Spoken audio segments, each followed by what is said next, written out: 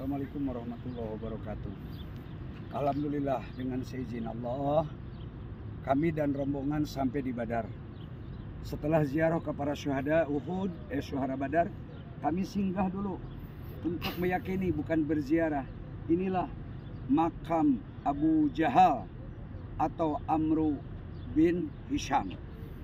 Dulu ini kepala negara, seorang raja di Arabia yang memusuhi Islam, memusuhi Nabi. Setelah meninggal, inilah tempatnya tidak terawat, batunya menumpuk, sebab setiap hari setiap orang yang datang melemparkan batu, tanda kebenciannya kepada sang Abu Jahal. Jadi diangkut batunya ditimpuk lagi, ditambah lagi, ditambah lagi. Sampai akhirnya terus menerus batu di makam Abu Jahal seperti ini. Terus terang saja 50 meter atau 100 meter sudah bau menyengat. Baunya luar biasa, bau busuk, bau bangkai yang bersumber dari makam Abu Jahal.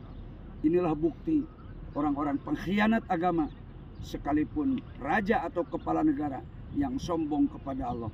Bukti seperti ini, tidak ada yang ziarah, tidak ada yang doa, dilaknat oleh Allah untuk selama-lamanya. Nauzubillahi. Semoga kita dijaga imannya, Islamnya, agar kita tetap ada di jalan Allah Subhanahu wa taala. Amin ya rabbal alamin. Inilah bukti makam Amru bin Hisham alias Abu Jahal mantan kepala negara di zaman itu yang sangat sombong dan dia terbunuh ketika perang Badar melawan pasukan Rasulullah Shallallahu Alaihi Wasallam. Padahal dia membawa seribu pasukan, sedangkan tentara Nabi 313, 5 di markas, 308 yang real di lapangan. Demikian ini bukti fakta sejarah yang benar. Orang-orang yang menghinakan Allah, menghinakan agama, menghinakan Rasul. Dihinakan Allah untuk selama-lamanya. Assalamualaikum warahmatullahi wabarakatuh.